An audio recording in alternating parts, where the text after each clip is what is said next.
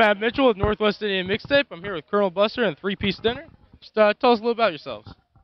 Oh well, we're a band that plays uh, rockabilly music and vintage country music. A lot of stuff from the '50s, um, even back as far as the '20s, actually. And uh, this is kind of the uh, the rockabilly sector. We have another another kind of more old-timey bluegrass unit that we play with, where we do more of the banjoy, mandolin type stuff too. Cool. So, um, you guys put a pretty killer show on today. Oh, thanks. What's your uh, favorite part of that? What drives you? Uh, I guess what what drives me is uh, is my strong rhythm section here. They kind of drive me and motivate me, and uh, you know, make me feel good about playing. Yeah. How about you guys? Um, I guess what drives me to play music, it's kind of just in a cheesy way. It's it's an emotional release, you know, stress release to get up there and kind of um, get away from life for a second. I don't Yeah. know, just, just kind of do, makes it- sense. do your thing, you know, and have fun with uh, good friends. So Joe brings up a good point. Yeah, it's a, you know, 30 minutes, a two-hour stress reliever. Yeah, it's good to watch everybody dance. It's good to get out. It's good to play music. And it's good to watch people coming out and support. And we need more people doing it. Yeah. So, uh, what are your personal influences? Uh, my personal influences are like uh, some of the old school guitar pickers, like Scotty Moore from Elvis's uh, original group. Uh, I like Chet Atkins, uh, Carl Perkins, stuff like that.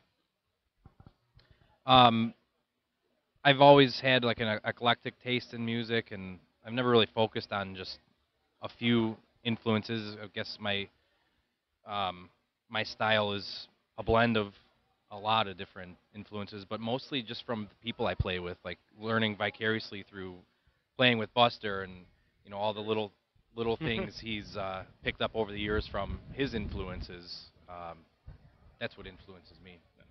How about you? And me. Like I said, uh, I do like rockabilly, but I'm more of a 60s, 70s R&B guy. Soul. You know, I do love Little Richard, but Little Richard to me is R&B. So you guys can take that how it is. And Ernest Tubb, love Ernest Tubb. Hank Sr., and you know, country music's been downhill since Hank Jr. True. All right. So, uh, you guys, uh, you said you were riding. Uh, we're we're writing a little bit, and uh, we're fixing to record in a little while, but we have no like no set plans. No sort of immediate thing, plans. But uh, Okay. just Uh, kind of work it out and see what happens. We have a uh, distance issue. Buster lives in Northwest Indiana. I live in Chicago. Nate lives in Woodstock. oh, okay. So um, he's got kids. I'm getting married, and Nate's finding himself. Congratulations, by the way. I'll find myself with the local shake dancers. So yeah, Congratulations. thank you. It's uh, I guess we kind of write and practice in our spare time. It's Which is never.